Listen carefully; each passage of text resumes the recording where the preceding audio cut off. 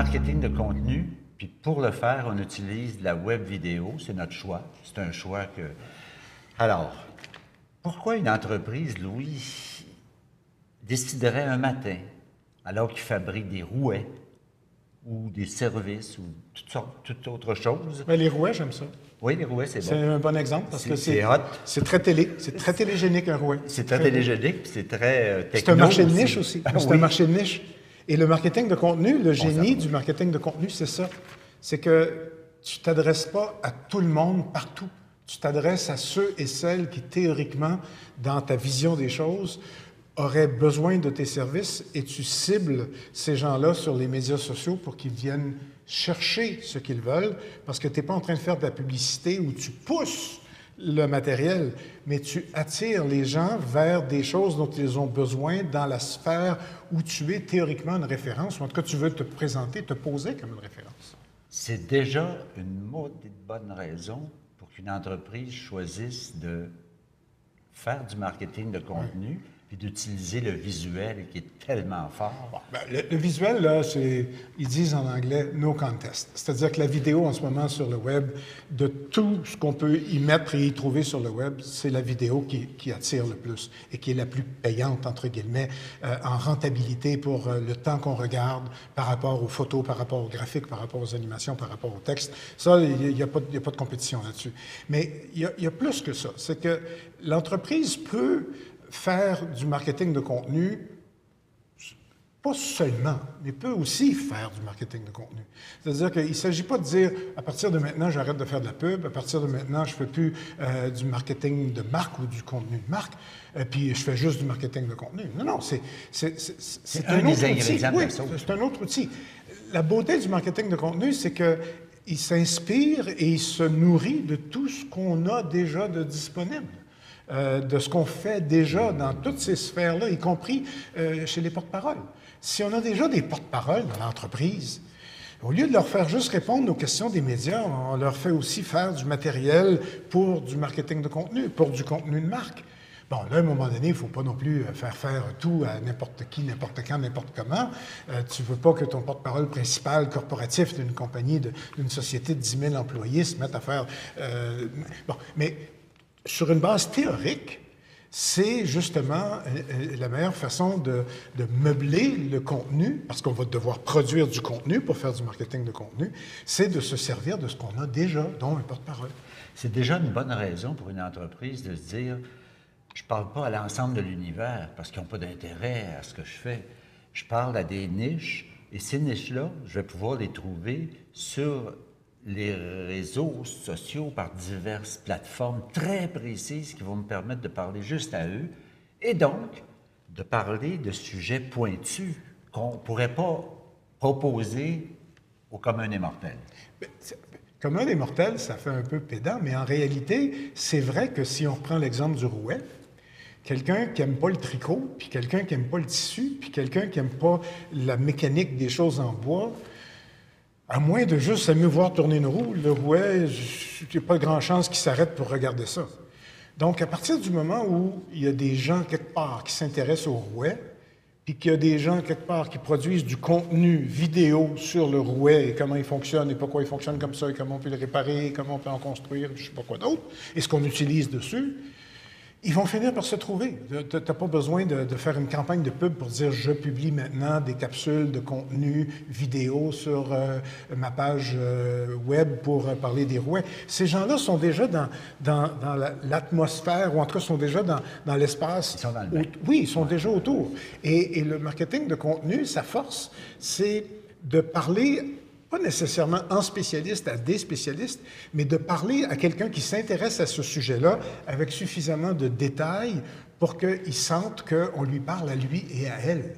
Et pas juste euh, rouet 101. Bonjour, le rouet, c'est une grande roue, c'est avec ça qu'on tisse de la laine. Ben voyons donc, on n'a pas besoin de ça, là. Si on sait ce que c'est un rouet, on ne veut pas ça. Alors, c'est pas le Wikipédia de la publicité, c'est le contraire. C'est le spécialiste au bout du compte. Euh, puis, s'il fonctionne si bien, puis s'il est si populaire, c'est à cause de l'alignement des astres. Il y a vraiment un alignement des astres. En 2017, les planètes se sont rencontrer pour Ah, donner ça a explosé. c'est d'ailleurs en train d'exploser maintenant, au moment où on se parle, parce que la production de contenu vidéo qui est à la mode et que tout le monde veut faire, elle coûte de moins en moins cher, elle est de plus en plus facile, de plus en plus abordable. Et la diffusion, qui était tellement chère avant, qui est maintenant accessible sur n'importe quel appareil mobile, donc démocratisé euh, à puissance 10, ben, les médias sociaux en font une chaîne de, de- de- de- de- j'allais dire, une, chaîne d'engrenage qui fait en sorte qu'on va se rendre jusqu'à la personne que ça intéresse par la force des choses.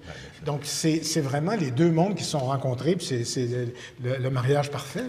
Il y a peut-être une, une- une tranche de ceux qui nous écoutent qui ne font pas automatiquement la différence entre amorcer un contenu de marque ou faire du marketing de contenu. Mais c'est deux choses qui sont quand même assez différentes. Ben, autant que la publicité est différente du marketing de contenu. Exact. Autant que euh, si on revient à ce qu'on connaît beaucoup à format, une conférence de presse, c'est différent d'une mêlée de presse, puis une entrevue en direct, c'est différent d'une entrevue euh, qu'on fait euh, dehors devant le stationnement pour faire vite avec un journaliste qui s'en va en direct. Bref, c'est toujours être devant la caméra, c'est toujours être en train d'intervenir, mais là, on est dans, quand on parle de marketing de contenu et de contenu de marque, on est dans, dans, une, dans une couche des, des choses où il faut adapter son approche, sa technique et la philosophie qui va avec. Euh, J'ai un client, moi, qui voulait absolument qu'on mette le nom de sa compagnie sur le, le micro pour faire du marketing de contenu. Puis je disais, c'est parce que c'est le contraire qu'il faudrait faire. Il faudrait, faudrait pas vraiment se vanter. J'ai dit, tu sais, le guide Michelin, ils ont le même logo que les pneus Michelin, mais dans le temps, ça n'avait rien à voir. Euh, Red Bull, pareil. Oui, c'est le même logo. Mais Red Bull est devenu un énorme diffuseur de marketing de contenu, un énorme producteur. Ils ne sont même pas dans la même colonne du rapport financier de Red Bull que, que- que le produit qu'on boit. C'est c'est complètement autre chose. C'est une autre euh, division, si on veut. Donc, une compagnie qui fait, ou un entrepreneur qui décide de faire du marketing de contenu, il faut d'abord qu'il fasse ses devoirs sur sa philosophie, son approche, c'est quoi par rapport à la publicité qu'il veut ou qu'il peut ou qu'il fera pas, c'est quoi par rapport à du, euh, du contenu de marque, c'est quoi par rapport à, à de la commandite? Je veux dire, moi, je suis pas dans ce monde-là. Je suis pas dans le monde euh, des, des, des, euh, La de la promotion. mais, réclame, mais- il y a un bouquet, là. Il y a un énorme bouquet disponible. Le, le marketing de contenu est devenu à la mode, mais il faut pas y faire faire ce qu'il peut pas faire, puis il faut pas penser qu'il va tout faire non plus. Bien sûr. Euh, c'est intéressant parce que tu soulèves le, succès faramineux de Red Bull. Et là, ça, nous donne un, sacré bon exemple pour montrer ce que c'est. C'est que il parle pas de la boisson elle-même, ni de ses qualités, ni de ses propriétés. Il s'associe à des événements extrêmes parce que pour survivre à des événements extrêmes, si tu prends une boisson énergisante, ça va te donner des chances. Think big. Oui, c'est ça. C'est un lien subtil qui les connecte directement avec leurs produits sans les connecter du tout avec leurs produits. Et ça ne veut pas dire que c'est le produit qui est toujours le moteur. En fait, pour la division des événements qu'ils produisent pour la télé sur leur chaîne un peu partout, euh, ils ne pensent même pas à vendre le produit. Parce que ça ne fait pas partie de la démarche. Leur démarche, c'est de faire la meilleure télé possible pour aller chercher le maximum de monde possible parce qu'ils sont devenus un moteur économique en soi. Ils génèrent une activité économique juste en faisant ce qu'ils font. Le sport extrême puis d'autres trucs extrêmes sur euh, les ondes et en ligne. Mais ça nuit pas à la marque. Ça aide la marque. Et quand la marque est aidée, ben, le breuvage l'est. Mais ils sont pas obligés de faire de la pub. Là. Quand ils descendent en ski, euh, en patin ou en d'autres choses, en Red Bull, euh, dans les compétitions, ils, ils finissent pas en bas en disant « Hé, je bois un Red Bull », comme on fait avec Coke. Là, sais. C'est pas ça. là. On n'est pas non, non, là-dedans. c'est une nouvelle pensée euh, ça. complètement. Où le contenu est plus prépondérant que de faire une plug ou une publicité. Mais c'est le contraire. C'est le contraire. C'est ça. Ouais. C'est supposé être le contraire. Mais moi, je le vois comme le contraire. Absolument. Parce que ce qu'on veut, C'est la dans ce réputation. Oui, ben, en même temps, c'est plus ben, peu, je sais pas. Parce qu'à un moment donné, à partir du moment où on dit il faut pas faire ça, ben on fait juste euh, respecter les limites pour pas dépasser, pour pas que le jupon dépasse. Moi, je parle tout le temps du jupon qui dépasse. Moi, de toute façon, les gens qui font de du marketing de contenu, il faut pas qu'ils soient pressés comme de la pub. Tu sais, tu mets une pub en une, ben pas en une, parce que tu n'auras pas la une, mais une pleine page dans le Journal de Montréal. Le lendemain, tu regardes, voir, ils ont-tu appelé, y a-tu du monde qui a appelé, j'ai-tu des commandes, il s'est-tu passé de quoi? Parce que c'est pas dans deux semaines, c'est le lendemain que tu veux que ça bouge, le jour même. Le marketing de contenu, c'est pas ça. Le marketing de contenu, tu le fais pour communiquer aux gens ce que tu es, ce que tu fais et ce qui se passe autour de la spécialité qui est la tienne. Ton environnement euh, de travail, mais ton environnement professionnel, ton environnement immédiat. Et dans le fond, c'est de la bonne vieille réputation, mais illustrée. Parce que dans le temps, tu sais, le, théâtre, le téléthéâtre Alcan, puis on s'entend que l'Alcan et le théâtre, ça n'a rien à voir. Et moi, j'ai grandi au téléthéâtre Alcan au Beau Dimanche. L'aluminium, je ne savais pas ce que c'était, mais le téléthéâtre Alcan, j'aimais ça. Puis dans les pièces, si je me souviens, non, non, il ne parlait pas d'aluminium. Non, c'était du classique, c'était des affaires. mais, au bout du compte, je ne sais même pas s'il y avait de la pub pendant, c'est à ce moment-là qu'on allait aux toilettes, je suppose. Mais le but de l'exercice, c'est de dire que c'était de la publicité corporative. C'était pour la réputation. C'était pour donner un profil, pour que la compagnie ait bonne bouche, bon, tout ça. C'est un peu ça qu'on doit faire quand on pense à faire du marketing de contenu, mais pas en mettant le nom de la compagnie de l'avant, puis l'étampe, puis le logo, mais en mettant ce qu'on sait et ce qu'on est de l'avant. Pour que la journée où quelqu'un a besoin de services dans le monde de X, Y, Z, qui dise, ben lui, il est bon là-dedans. Moi, j'ai confiance en lui. Alors, oui, c'est de la publicité. C'est pas désintéressé, là.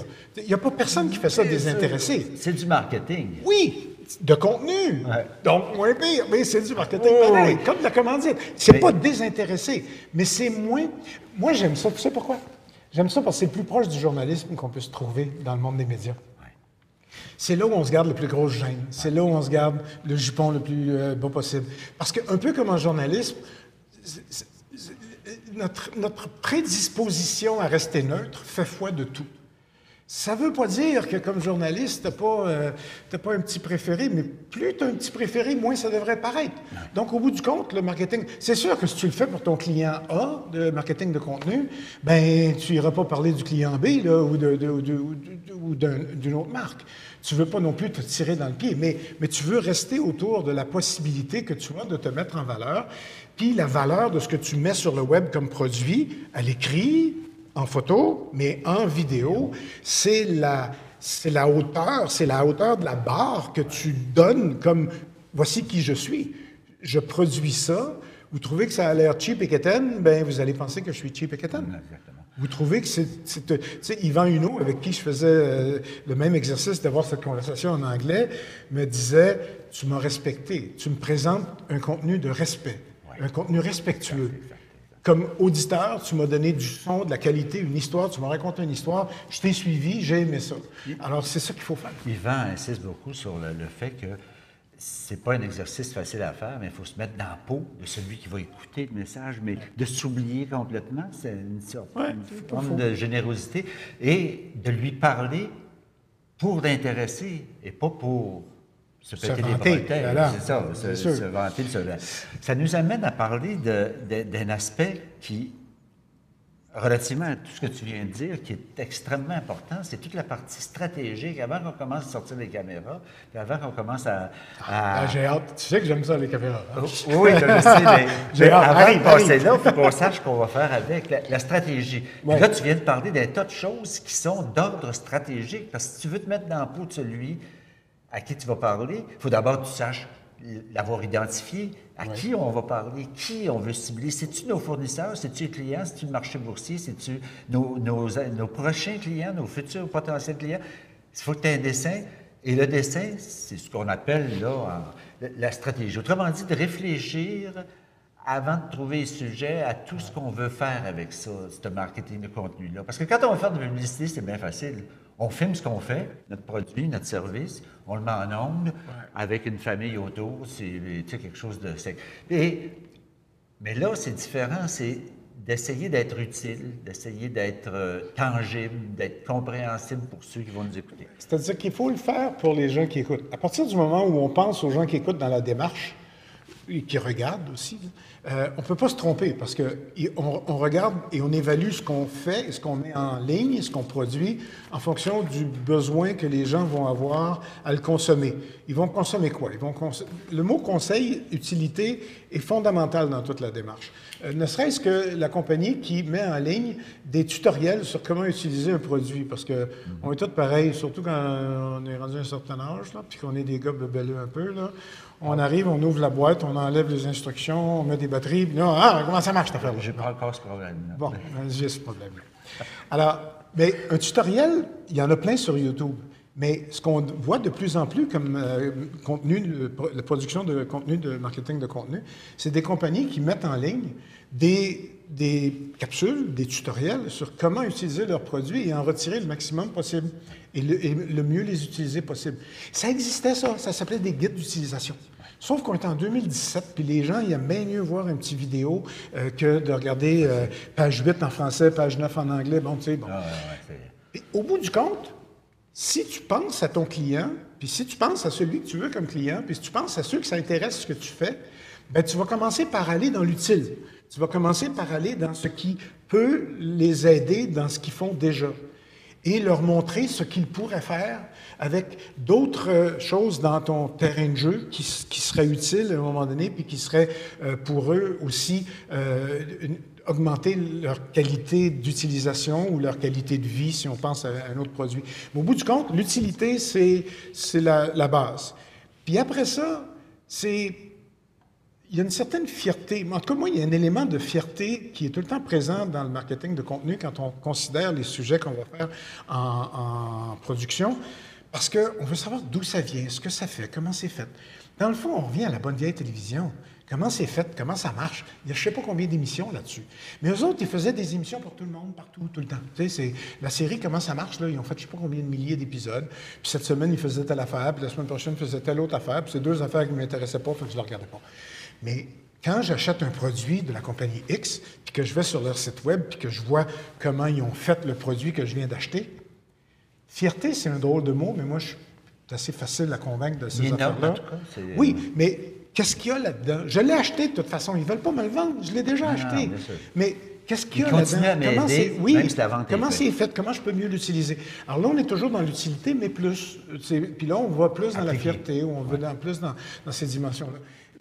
Mais moi, j'avoue que pour moi, c'est assez clair ce qu'on va produire quand on veut faire du marketing de contenu, parce qu'il n'y a pas mieux que la personne dans la chaise de celle euh, ou celui qui veut en faire, qui sait ce qu'il y a à montrer. C'est juste qu'il n'y a pas pensé comme ça. Il faut juste devenir son propre directeur des programmes, parce que on le dit tout le temps quand on parle de marketing de contenu, puis je, je t'ai lu l'écrire je ne sais pas combien de fois, on va devenir le média de notre marque. On devient chacun notre propre média. C'est pas tout que d'avoir un média. Il faut avoir un directeur des programmes. Puis du contenu. Puis, du contenu pour décider ce qu'on met dedans. C'est ça. Donc, on, on, vient de faire le tour là, de l'importance primordiale de la, de la stratégie, au moins d'en avoir réfléchi une, d'y avoir pensé. Après, il y a un cheminement critique logique dans ça, parce que si tu ne sais pas à qui tu parles, tu as de la misère à faire une stratégie. Mais si tu sais à qui tu veux parler, que c'est ton objectif à court terme, après ça, ça te facilite la tâche pour identifier des sujets, par exemple, qui vont faire partie de ton, ton marketing de contenu. C'est sûr que l'identification des sujets puis le, les priorités de production, ça va aussi beaucoup avec la technique. C'est que c'est la main gauche ou la main droite, il faut absolument qu'ils se parlent constamment. Parce que euh, les moyens de production, les impératifs de production, les complications de production font en sorte qu'il y a des sujets qui sont mieux euh, pour commencer puis d'autres plus tard. Tu sais, moi, je donne tout le temps l'exemple de... Euh, tout le monde a une page web. Tu sais, je veux dire, n'importe qui a sa page web maintenant. Mais qui a un mot de bienvenue en vidéo sur sa page web? Fais le tour des municipalités du Québec. Va faire le tour des, municipalités. Même, même en politique provinciale, puis là, je n'aime pas ça parler de politique parce que les autres sont là pour vendre des votes, sont pas là pour. Mais quand même, ils ont une sorte de marketing à faire. Pourtant, il me semble qu'en 2017, tout le monde qui a une page web devrait avoir une petite vidéo de présentation qui commence comme sur Facebook. Moi, je vais sur Facebook, LinkedIn, puis les vidéos me partent face. Là, tu sais. mm-hmm. Quand j'arrive sur ton site web, là, il devrait y avoir une petite vidéo qui dit Bonjour, je m'appelle Louis-Pierre, c'est moi qui ai fondé Format il y a euh, 78 ans? En général, j'aime mieux laisser parler les autres parce qu'il faut bien ça. Mais, mais l'idée, c'est de avoir. Ça, c'est facile à faire facile dans le sens de production, mais c'est un bon premier pas. Tu sais, ça donne rien de dire, oh, on va se faire quelque chose, là. Euh, oui, mais attends un peu, as-tu une idée de ce que ça va demander comme exigence technique, comme équipement technique, comme complication? On devrait peut-être commencer par quelque chose pour se faire la main si on est au début du processus. Mm-hmm et choisir parmi les sujets qu'on a euh, ceux qui sont le plus propices à, être plus faciles à faire. Puis là, on se fait la main, puis là, on apprend à faire du montage, du tournage, puis de la production, puis on met ça en ligne. On s'entend qu'il y a un lien direct entre ce qu'on veut, notre intention, une fois qu'on a ciblé notre monde, qu'on a à peu près identifié des sujets, avec l'équipement ou la technique, on va l'appeler la technique, euh, il y a une relation directe parce qu'il y a des choses qu'avec un type de technique, tu ne pourras pas faire, tu vas pouvoir facilement les faire avec les bons outils, finalement. On revient toujours au principe que si tu as défini ce que tu veux faire, à qui tu, à qui tu l'adresses, là, là, après ça, il faut que tu réfléchisses à l'équipement, les supports euh, techniques qui vont faire que tu vas le... Et ce que tu dis, c'est que, évidemment, d'abord, ça coûte considérablement moins cher c'est flexible, c'est manipulable par quelqu'un qui n'a pas 30 ans de métier. Oui, je dirais même que c'est potentiellement facile. Le problème, c'est de tomber dans tous les panneaux que quelqu'un de métier va pouvoir te dire, regarde, oublie ça, tu n'as pas besoin de... Le, problème, il est là, c'est qu'on découvre quelque chose, tout nouveau, tout beau, tout feu, tout flamme, là, on part, on, dit, ah, on fait du marketing de contenu, on fait de la production de contenu, on fait de la vidéo web. Puis on oublie de mettre les efforts puis les investissements sur les bonnes choses euh, parce qu'on n'est pas conseillé ou on ne sait pas par où commencer. Puis on, veut tout de suite produire, on veut tout de suite voir des choses en ligne, on veut tout de suite être capable d'avancer puis de, montrer des affaires. Tout ça est bon, tout ça est juste, mais il y a une progression, il y a euh, du mérite à réfléchir, à avoir un peu d'accompagnement, à poser des questions à ceux qui sont déjà là-dedans.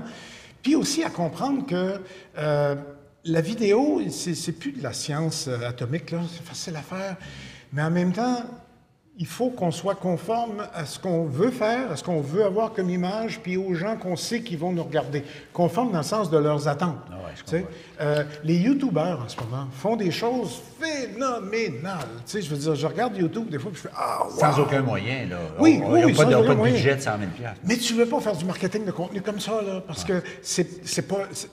Oui, il y a un côté. pas euh, trop corpo. Oui, puis tu veux pas du rentre dedans, puis tu veux pas tout le temps que ça, ça, qu'on pousse ça dans la gorge. Alors, c'est sûr que euh, pour quand tu disais quand on n'a pas 30 ans de télé, on n'a pas besoin d'avoir 30 ans de télé pour en faire, mais de d'aller voir quelqu'un qui, sait comment ça marche, qui peut vous dire ça c'est plus facile, ça c'est plus difficile, attention à ceci, attention à cela. Puis voyons voir comment on peut s'équiper pour commencer je connais... Tu gagnes bien du temps, de toute oui, façon, je, je connais plein de monde qui... évite des déceptions aussi. Qui appellent encore des maisons de production et qui disent On peut-tu tourner jeudi matin? Oui, ils attendent, la personne arrive, la maison de production, ils s'installent, ils font l'affaire, ils envoient la facture, tout est beau, tout est fait. Eux autres, tout ce qu'ils ont eu, c'est l'idée de faire quelque chose. La maison de production a tout tourné, tout mis en ligne, puis c'est en ligne. Mais là, ça coûte cher. Quand on a dit tout à l'heure que le marketing de contenu, c'était un processus long, que les, les, qui c'était pas à, court terme qu'il fallait attendre euh, des retombées, ben si on paye une fortune en coût de production pour euh, produire ce qu'on veut mettre en ligne, puis ce qu'on met en ligne, on va peut-être trouver que ça a coûté trop cher parce que ça a rapporté. Mais si on grandit avec, si on grandit aussi à l'intérieur, c'est les gens de l'interne qui sont les plus payants. On ne veut pas que nos employés, que nos collaborateurs, que nos associés deviennent des Kid Kodak du jour au lendemain, puis des YouTubers du jour au lendemain. Mais on ne veut pas non plus être obligé d'engager quelqu'un qui va montrer l'image de la compagnie, puis on l'a engagé pour qu'il vienne parler pour la compagnie. C'est pas ça qu'on veut. on veut le vrai monde, on veut les vrais employés, les vrais associés. Donc ces gens-là ont besoin d'accompagnement, ont besoin d'un minimum d'aide pour être à leur meilleur. C'est J'allais dire c'est facile. C'est sûr que ça a l'air facile quand on le dit comme ça, mais c'est pas si difficile qu'on pense d'être devant la caméra. Puis c'est pas si difficile qu'on pense d'être derrière non plus à partir du moment où. Puis je parle de caméra, c'est pas des caméras, c'est des téléphones. Il faut oublier ça, l'idée des maisons de production puis des factures à 1000 dollars de l'heure puis tout ça. On parle de téléphone, on parle de moyens qu'on va chercher tout le monde chez, chez le magasin du coin. Puis euh, c'est pas des produits qu'il faut ça, euh, commander. Ça rentrer dans la cuisine, parce que je pense que c'est important. Moi, j'aimerais ça aller dans la cuisine. Je suis gourmand, je sais, ça, mais là, on va manger là, parce qu'on y va.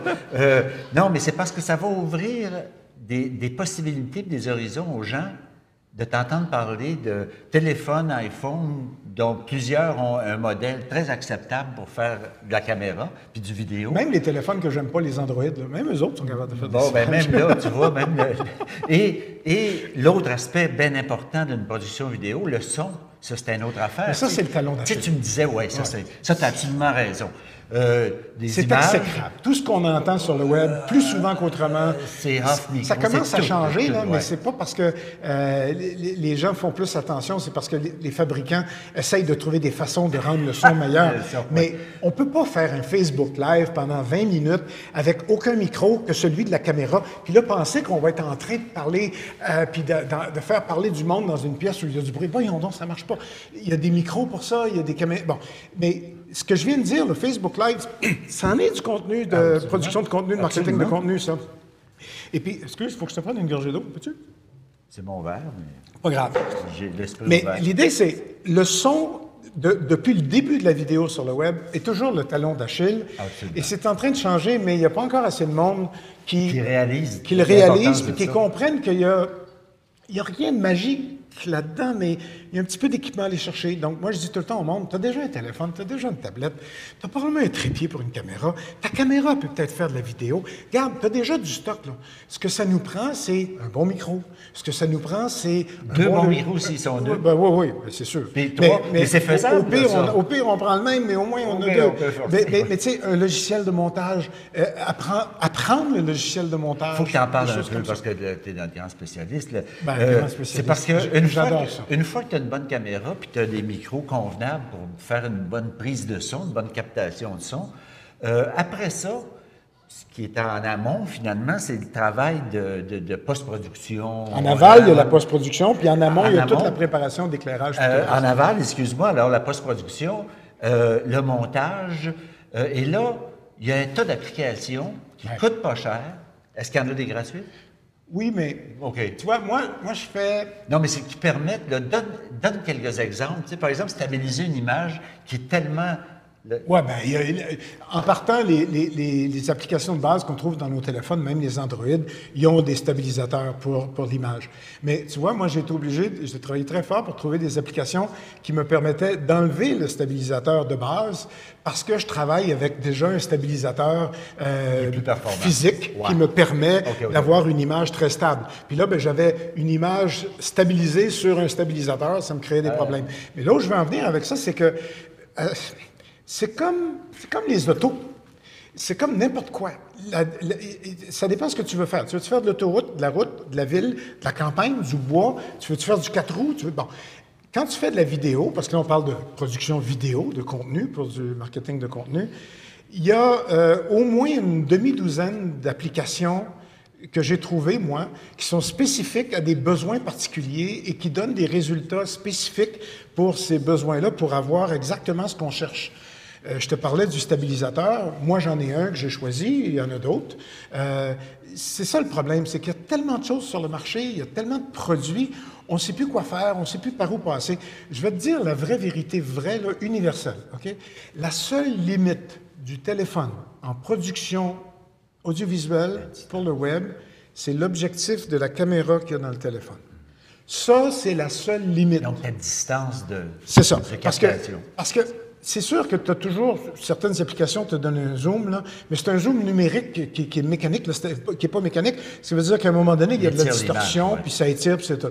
Donc, tant que, puis, puis c'est pas encore rendu, je sais que ça existe des objectifs, mais j'ai regardé ça, puis ça vaut pas la peine de commencer à, à installer des objectifs. C'est comme de déshabiller Jean pour habiller Jacques, à un Ouais. moment donné, tu as, le même problème.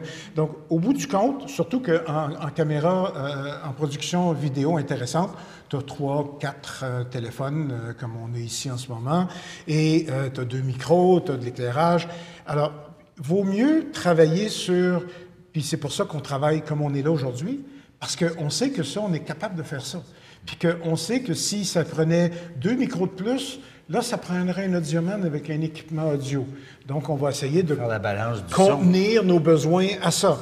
Euh, c'est la même chose en vidéo, mais au bout du compte, il y a des applications pour tous les besoins et il y a aussi des outils pour tous les besoins. Plus ton montage est sophistiqué, plus ta table de montage est sophistiquée, plus tu vas être capable de corriger les couleurs, le son, le ci, le ça, synchroniser des, des, des caméras, euh, multicaméras avec le même son, plus tu es capable de, pardonner des, des, euh, des coins que te couperont au tournage, parce qu'au montage, tu es capable de rattraper vite fait. Alors, ça dépend avec quoi tu montes.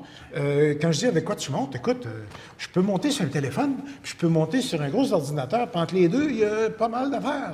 Alors, ça dépend de la sophistication de ce qu'on veut faire, puis du temps qu'on a. Je t'ai dit tout à l'heure, Facebook Live, YouTube Live, c'est non seulement du marketing de contenu, mais c'est devenu l'arme de choix, le silver bullet. C'est devenu, euh, parce que les gens se disent, on va faire d'une pierre deux coups. On va faire tout un tabac, tout un tapage pour dire qu'on s'en va en direct sur YouTube. On va annoncer ça partout. On va être en direct sur YouTube. Après ça, on reprend ce qu'on a fait sur YouTube. On le coupe, on le nettoie, puis on le remet pour toujours sur le web. deuxième produit. Ben pourquoi j'en aurais pas deux pour le prix d'un? Ah oui, c'est ça. Avec un petit peu de montage de plus. Puis là, j'ai fait un battage que j'aurais pas pu faire autrement parce que là, j'étais en direct. J'ai reçu des questions, des réponses, mais ça, je suis pas obligé de les, de les mettre après ça dans l'autre production. Bref, la partie directe, là, c'est, puis c'est là où le son fait défaut. Puis c'est là où les gens, ils- on les voit bouger tout le temps, puis ils, ils disent, oui, mais j'ai un stabilisateur dans mon téléphone. Mais un peu, là. T'as un tracteur que t'as là, là. C'est pas, euh, tu sais, le stabilisateur, il va pardonner un petit peu si tu brasses, mais c'est tout. Alors, il y a des applications, il y a des outils, il y a des stabilisateurs, il y a des, meilleurs téléphones que d'autres, il y a des meilleurs euh, logiciels, applications que d'autres. Puis, il y a des meilleures productions que d'autres à faire, puis en a pas à faire. Il y a des affaires, je te dirais, tu me dirais, regarde, Louis, je veux faire ça, me- trouve-toi quelqu'un d'autre, moi je ne ferai pas ça parce que je suis certain que je vais me planter. Mais dans un an, on va peut-être être capable parce que là, il va peut-être y avoir un visuel de plus. Là, il faut, faut préciser que ce qu'on fait présentement, c'est envoyer à un mixeur qui nous fait comme une émission en direct. C'est-à-dire que la, la tablette, euh, il y a quelqu'un qui vient choisir les images. Oui, là, on a quatre caméras en ce moment. On a quatre caméras. D'ailleurs- On peut y toucher ici. Oui, c'est très, on très a celle-là, on a celle-là, puis on a une caméra Ça- revient à ce que tu disais tout à l'heure, c'est que si tu es trop loin, tu es obligé de faire des zooms. Tu fais des zooms, tu détruis ton image. Mais une fois qu'elles sont proches, ben là, tu es serré. Là, T'es serré, Mais il y a une intimité bonne- qui, est, qui est Ah agréable oui, quand même. On se sent entouré. C'est ça. mais, mais ça ne nous trouble pas non plus. Hein? La caméra, il faut l'oublier. Mais là. c'est même moins gênant que. Tu sais, c'est comme aussi bête que de dire qu'il y a du monde qui font des Facebook Live en se servant de la caméra qu'on appelle FaceTime, c'est-à-dire de la petite caméra qui est à côté de l'écran parce qu'ils veulent voir ce qu'ils sont en train de faire. C'est vrai parce qu'ils sont tout seuls. Oui. Bon, si tu es tout seul puis tu vas en direct, tu n'as pas le choix, il faut que tu fasses ça. Mais si je fais un, un- un- un YouTube euh, ou un Facebook Live avec toi, ben là, je vais toujours bien prendre ma meilleure caméra, puis je te montrerai pas ce que les gens vont voir pour pas te déranger. L'important, c'est que je te- moi, je te vois bien puis que je puisse contrôler les affaires. Mais la caméra d'en avant, là, est trois fois meilleure que l'autre caméra OK. en termes de qualité. Moi, en ce moment, là, sur le iPhone 7, je parle même pas du 7 Plus, juste le 7, là, il y a du 4K à 60 images par seconde, à 60 mégabits par seconde. C'est phénoménal. En termes de technique, là, on n'avait pas ça en télé il y a 5 ans. Ça, c'est vraiment pas cher. Puis je monte ça sur un ordinateur. là. qualité, ouais. Ah oui, c'est un téléphone. Tu en as un dans tes poches, j'en ai un dans mes poches. Tu n'as même pas besoin d'arriver puis de dire j'en achète quatre pour la production. Tu prends les quatre de, tes- des, des quatre Des personnes. de. tu- as déjà tout ton. Et ça, c'est possible. Je te dis pas que c'est aussi facile que ça, mais ça peut que, ça doit commencer comme ça. Avant, avant d'aller acheter des caméras. Puis moi, je vais en, en chercher des caméras des fois, je vais en louer des caméras des fois pour dire, ben ça là-dessus, j'ai besoin d'un zoom. On va aller chercher une caméra. Mais là, il y a, C'est plus ça- exceptionnel. Mais là. ça un besoin très pointu. puis ça occasionne d'autres problèmes. Ouais, Là, en ce moment, on a, comme tu l'as expliqué, une tablette qui sert de régie d'aiguillage, qui prend les quatre caméras puis qui les mélange. Bon.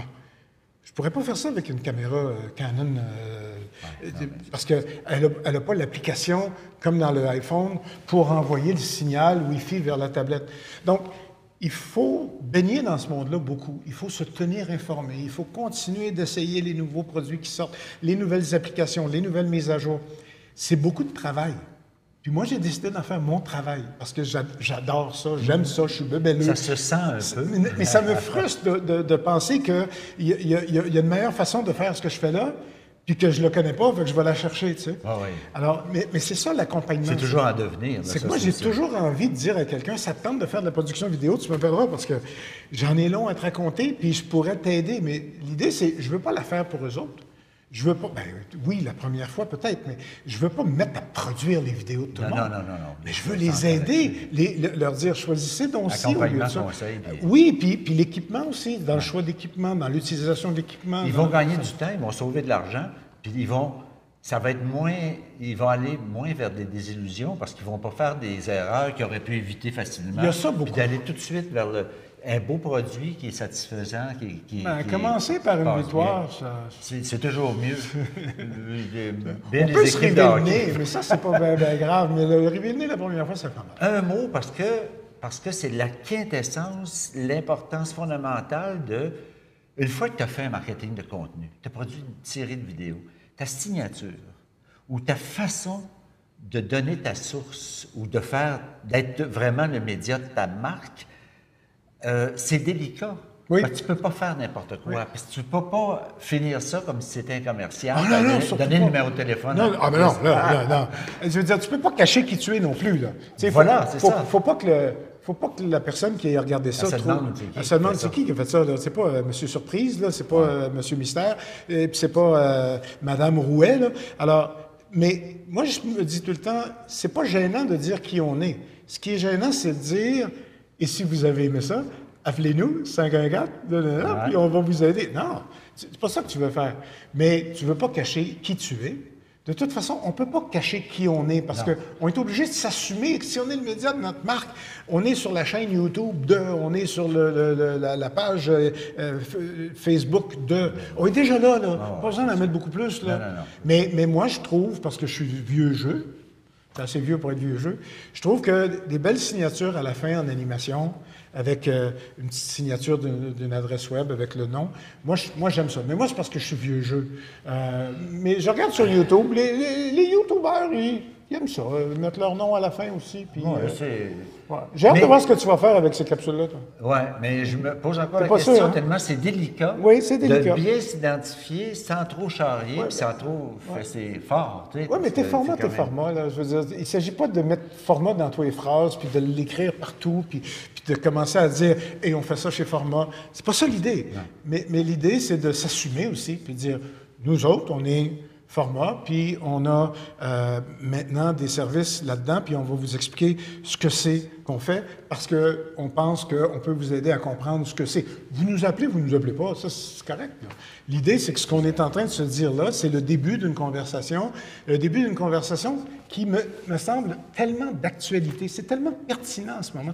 Tout le monde est en train de chercher une façon de mettre des vidéos sur le web, parce que le monde, ils lisent plus ça, des textes sur le web, surtout pas sur le téléphone. Euh, non, mais pour quelqu'un de vieux jeu, tu parles quand même de quelque chose qui est de l'avenir, puis en devenir. Là, hein? On Moi, je ne sais pas ce que tu as vu comme statistique récemment, mais moi, j'ai vu qu'avant la fin de 2018, 80% du contenu sur les appareils mobiles sera de la vidéo.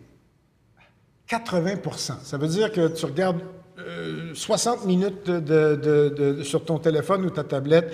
Là-dessus, il y a 45 minutes, 50 minutes, c'est des vidéos qui roulent. J'ai vu la même statistique, Bon, donc on peut penser que ça s'en va là. Puis Ben, d'ailleurs, on- les on est sources presque sont rendu. Les sources sont crédibles parce que Google, quand il donne des chiffres, c'est des Oh, chiffres validés. Là. On est presque rendu. C'est, très solide. Si on veut, con- si on veut conclure, euh, puis résumer euh, les aspects importants, on parle la stratégie qui est une réflexion finalement profonde, puis de ne pas commencer à bouger tant que tu ne l'as pas fait, faire une, une réflexion. Après ça, tout l'aspect du support technique en fonction de qui on veut parler, à qui on veut parler, de quoi on veut parler, quels sont les sujets. Il y a comme un certain nombre de blocs qu'il faut absolument avoir de- sur sa table de travail. Il y a- j'ai hâte qu'on qu'on entre euh, avec euh, des, gens dans le vif de l'exercice et du sujet, mais moi, j'ai euh, tout le temps une phrase qui me revient à l'esprit quand je travaille avec des clients sur le marketing de contenu, c'est toujours de dire, faut pas faire comme à la télé. C'est que on a, on a un code télégénique, tout le monde. On, est, on a grandi avec la télé. Et on pense que c'est comme ça qu'il faut faire, parce que c'est comme ça qu'on l'a vu faire. toujours, Mais oui. c'est de la vieille télé, ça. Et maintenant, on a des moyens de faire autre chose. Il ne s'agit pas de faire le contraire de ce qu'on a vu, mais il s'agit de faire les choses en fonction de nos besoins et des, des outils qu'on a, et pas en fonction de ce qu'on a vu qu'on pense qu'il faut répliquer. Des fois, je dis au monde, oui, mais ça, c'est comme à la TV, c'est pas ça qu'on veut faire. Un exemple de ça, c'est un reportage. Le bureau du premier ministre Couillard, à un moment donné, a commencé à faire des capsules. Il allait en voyage, puis là, bonjour, ici votre premier ministre, c'est comment ce qu'il est, bon. Puis j'étais aujourd'hui à tel endroit, on a annoncé telle chose. Puis là, hey, c'est bien, je regardais ça, puis je dis, wow, il faut un bel effort, wow, c'est beau, ah, pour effort. Puis là, à un moment donné, boum, il tombait avec la vieille technologie des images qu'on appelle le B-roll, des images de cover. Là. Puis il, il, mettait des images un peu comme on met des photos par-dessus la voix pour combler le besoin de ne pas le voir pendant qu'il se trompait, pendant qu'il y avait une coupure, pendant qu'il y avait. Alors, c'est des plans de coupe, c'est des plans qui... On faisait ça en film. Moi, j'ai travaillé en film. En film, il fallait faire ça parce qu'on n'avait pas beaucoup d'images, puis il fallait utiliser les images qu'on avait. Puis bon, mais là, on est en 2017. Alors, les, directs à la caméra, enregistrés ou pas, mais parler à la caméra, sont fondamentaux et sont, sont de la nouvelle télé. Euh, mettre des images un peu n'importe comment pour patcher euh, des, bouts de reportage pour faire comme un reportage, c'est pas ça qu'on veut. Là. On va sur une page web pour euh, avoir une présentation de qui est la compagnie, de ce qu'ils font, avec qui ils font, quels sont leurs fournisseurs. On ne veut pas un reportage, on veut, on veut rencontrer des gens, on veut que quelqu'un nous fasse faire le tour du propriétaire en nouvelle télé. Alors, ça, c'est la partie où il faut se faire brasser un petit peu. Parce qu'on a des a priori, puis on a des convictions qui ont besoin d'être euh, euh, un petit peu poussées, un petit peu challengées. Euh, et puis, moi, je pense que dans ce domaine-là, une deuxième opinion est toujours une bonne affaire pour commencer. On a parlé beaucoup de, marketing de contenu. Est-ce qu'on pourrait parler de marketing de repos maintenant? Contenu de marque avant de partir. Ah! Parce qu'on a fait le détour. Et Donc, on ne prend pas de break tout de suite. Non, parce que ça va s'arrêter là. Mais le contenu de marque, euh, euh, c'est ça qu'on dit, contenu de marque. C'est, c'est du marketing de contenu, mais à puissance, puissance très élevée, où là, on n'essaye même pas de se mettre en valeur. C'est-à-dire, on essaye de se mettre en valeur, mais là, il faut que ça paraisse encore moins. Mm. On, veut, on veut... C'est l'ancienne publicité dite corporative. C'est un peu comme le théâtre Alcan. Mais il faut que ça sonne vrai en maudit, Mais là, que ça soit crédible. Il faut que ça soit beau, là. Plus, plus tu montes le degré de difficulté, plus il faut que ton rendu soit une coche au-dessus. Là. Alors, c'est pour ça que le, la, petite présentation dans la page web, bonjour, moi, je suis le président de la compagnie, je suis content de vous accueillir, nanana, c'est pour ça que ça, c'est pas prétentieux plus tu es prétentieux, plus tu veux avoir quelque chose de, très rond, stagé, euh, plus tu as besoin d'être sacoche parce que plus ça tombe dans ta face.